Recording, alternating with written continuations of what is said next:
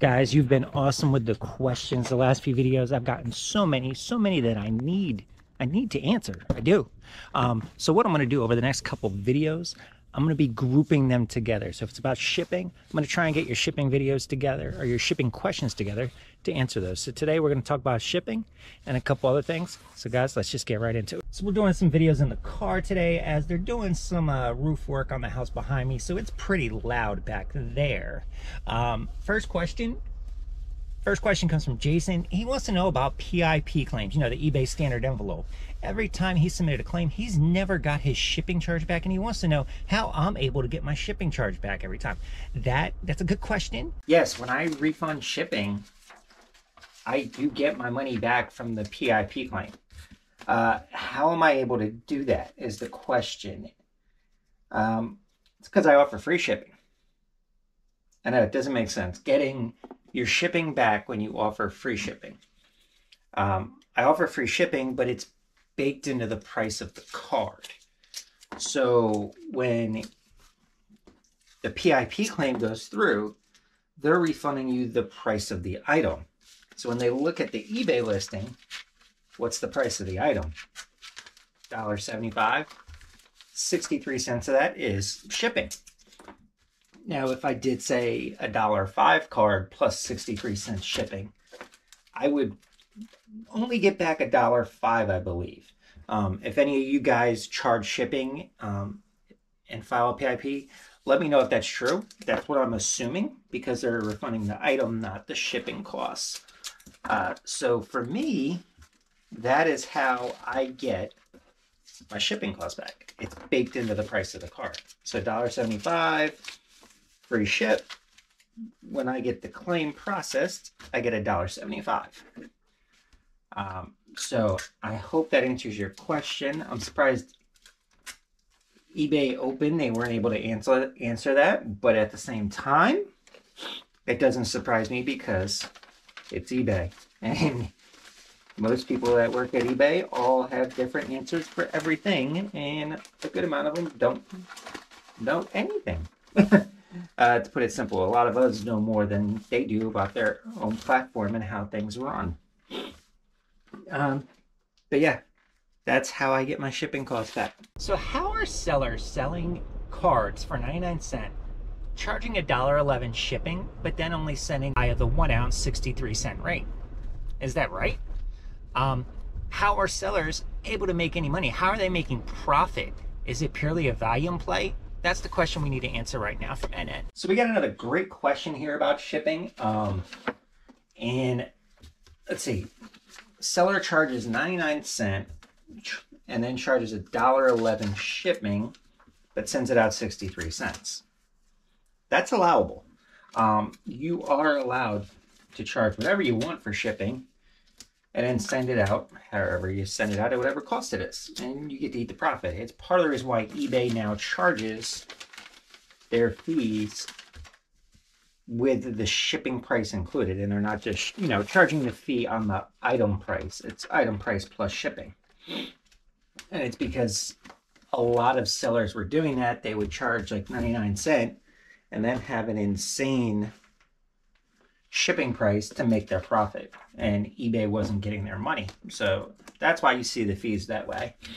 Uh, but shipping a dollar 11 or paying charging a dollar 11 and then shipping oops shipping via 63 cents it's allowable. Is it right? I wouldn't say so but it's allowable now one of the tricks with that is say you're uh, charging for priority mail and you tell the buyers that it's going to come priority mail, but you ship it ground advantage. Or if you say you're going to ship this card ground advantage, but then ship it standard envelope, that you can get in trouble for. Because um, what eBay wants is the shipping time. They want the item to get to the buyer by the time it should. And if you're shipping in a slower method than what you told them they would get it and charge them for, then you could possibly get in trouble if there's a complaint. Makes sense, doesn't it? Um, all in all, yes, it. You are right. It's certain volume. when you're doing low end cards, 99 cent plus shipping, $1.75 or $2 free shipping, you're focused on volume. You don't, you're not going to make much money off of anything, even 99 cent plus $1.11 shipping. Take the 63 cents off that $1.11, that's 50 something cents. 99 cent is pretty much all covered by the fees. So, yeah, you're making money on volume, not overcharging shipping by like 50 cents. But hope you hope that answers your question a little bit. Um, I really just like to take the guessing game out. I just charge the free shipping. I'm not going to charge somebody the dollar eleven and send at a lower rate just to you know have that eye popping 99 cent in my listing because honestly me when I buy I can give two shits what a person charges. I look at the overall total, and that is item that I 99 cent plus shipping. I look for the lowest possible total price, not the lowest item price. All right, guys. Now don't forget Monday, Christmas Day. We are opening a box of Hoops Holiday, Hoops Winter, whatever you want to call it, blaster box. And we're going to be going Victor Wembanyama hunting. If you want to join in on the hunt, make sure to hit that subscribe button so you see when this video drops and see if we get any victors. And not just that, after that video, all of those cards will be live on eBay for sale. That's right, all of them will be in the store at the same time the video drops. So if we get any hits, make sure to hit the store quick and be the one to get your purchase. All right, my boy Jeremy. He likes the shipping process. He thinks it's pretty efficient. It works pretty well, except for one thing. That is the blue painter's tape. He doesn't like it. He would rather use team bags. And you know, I know a lot of you guys are, but I'm going to tell you right now why I use the blue tape and when I do use team bags, because I use those too. All right, so continuing with the shipping talk today. Uh, Jeremy, I know you're watching. Jeremy, you watch, you comment on a lot of videos. Thank you. I appreciate your support. Um, he says he likes my process. It looks very efficient. Um, only thing he would change is the blue tape on the top loaders. He prefers to use team bags. And you know, that's a good one to talk about. I have different ways I do this. If it is a multi-card order where I'm going to have multiple cards in a card saver, like the first order we did today, I use team bags. I'll put them in there, in the card saver and then pop them in a team bag. It's multiple cards. I just, you know, I don't feel like the tape properly secures. I mean, it does, but, you know, just want that little bit extra.